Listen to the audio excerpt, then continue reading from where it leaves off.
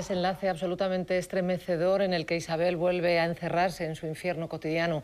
Antes de empezar a charlar con los invitados de esta noche sobre la película que acabamos de ver, Calle Mayor, vamos a escuchar a Betsy Blair, la protagonista de la película, que nos recibe en su casa de Londres y va a compartir con nosotros un montón de cosas, un montón de recuerdos sobre aquel rodaje. Vamos a escucharla.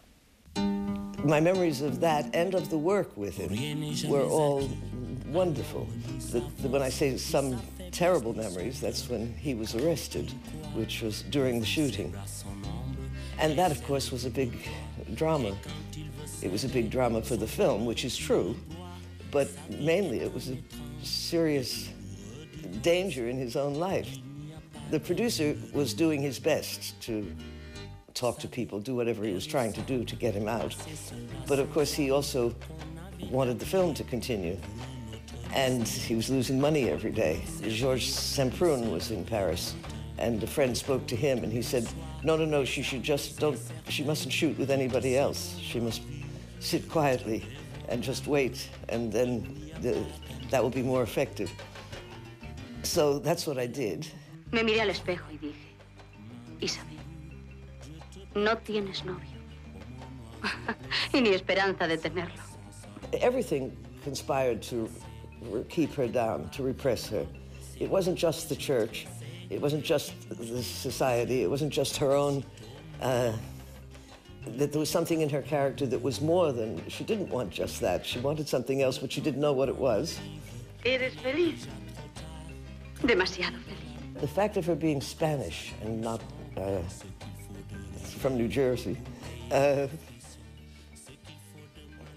I thought I had to be a bit careful not to make too many American movements. Uh, but I also thought, looking around, that I wasn't going to try to make Spanish gestures. I, I wasn't going to do an imitation of what I could see. Uh, I was had to work from, um, well, it sounds pretentious now, but like from her soul, from her uh, particular self. There was only one scene uh, when I'm when, that we reshot. We had to do again, and it's when I'm on the bed in my little cotton nightgown, and I'm saying his name all the time. It was perfectly pleasant and lovely shooting and fun, even. And um, then we had to reshoot it, and I said, "Why?" And he said, "Because you look too pretty."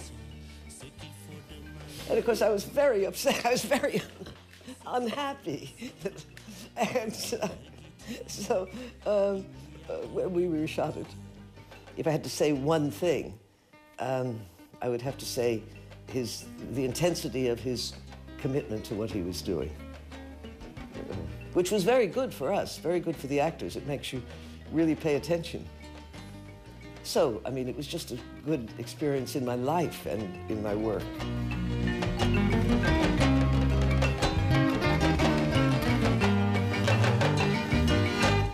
Muchas gracias.